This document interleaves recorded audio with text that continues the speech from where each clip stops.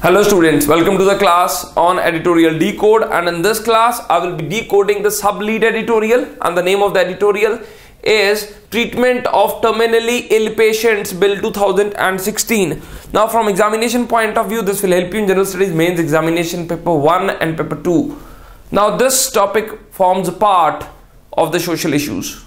Now this topic is about such patients who are terminally ill such patients who are in a vegetative state, such patients who are brain dead. So, primarily, this editorial deals with euthanasia. Now, this is very important. Now, first of all, we need to understand what is meant by euthanasia.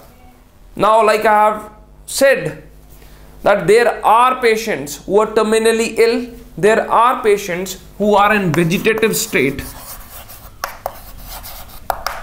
terminally ill in vegetative state and brain dead.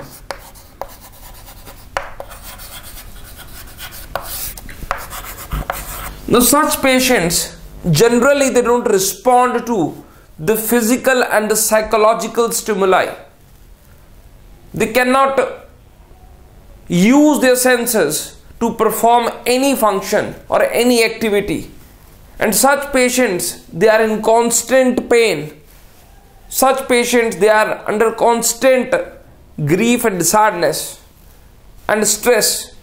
And such patients require themselves to be relieved of this phenomena called as life. Now such patients they are not living a dignified life. So we have this euthanasia thing. Now euthanasia means ending life ending such life that is not yielding any fruits, that is not yielding anything that should be exhibited out of a life of a human being.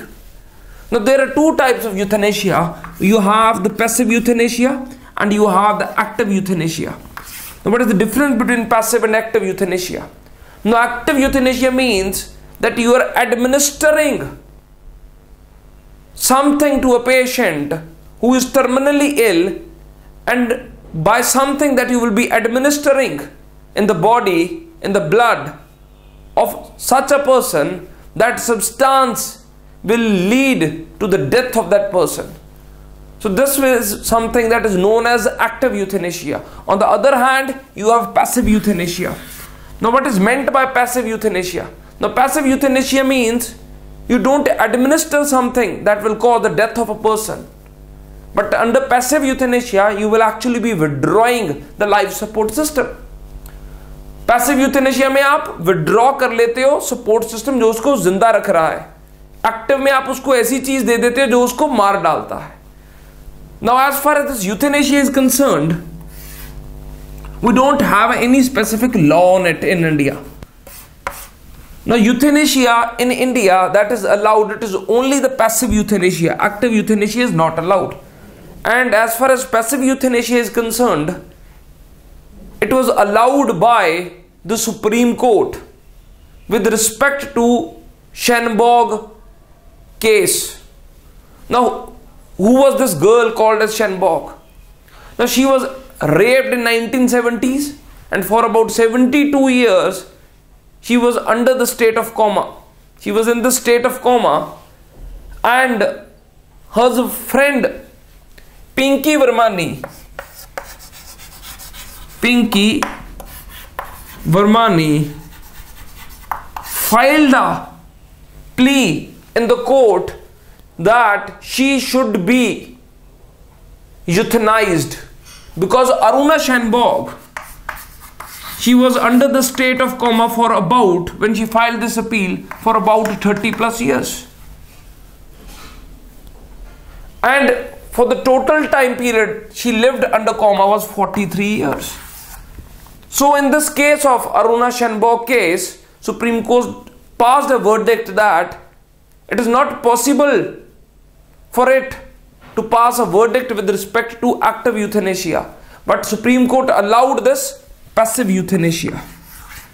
And finally, she died last year because of pneumonia. And as far as Supreme Court's verdict about passive euthanasia is concerned, Supreme Court has specified in its verdict that the government must come out with a bill about euthanasia. And as far as this administering this passive euthanasia is concerned, Supreme Court has passed certain instructions and certain guidelines how this passive euthanasia should be restored to. And, and in this, Supreme Court has also defined what is meant by this near friend.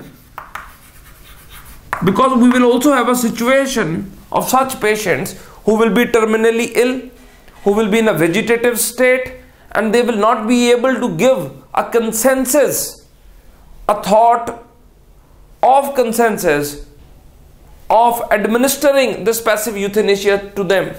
So in such a case, it will be this near friend. It will be this near friend or the relatives or the spouse who will be taking the decision of this passive euthanasia. And once they have taken this decision, they will be required to file an appeal in the Supreme Court. And then Supreme Court or High Court in that case will set up a committee of two judges. And then this these two judges they will set up a committee of three doctors.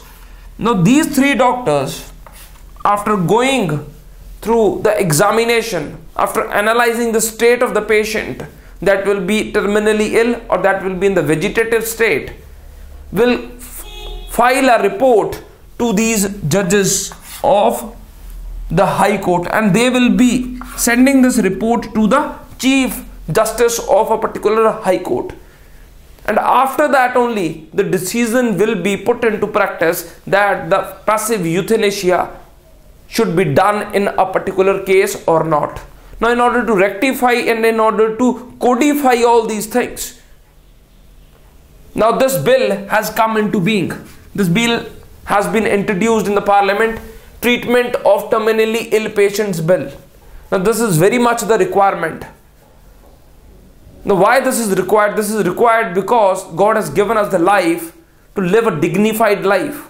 God has not given this life to be lived in a vegetative state or in a state called as brain dead. So such a development is good from the perspective of such patients who actually don't, who have lost the desire, who have lost the will, complete will, and they are not in the capacity to carry out their life properly as a human being. So this was all for the editorial decode. You can subscribe to this channel. Name of the channel is Brainy IAS. You can contact us at 84594 in case you're interested in buying the video classes on entire civil services preparation. So this was all for the day. Bye bye. Take care. Have a nice, nice day.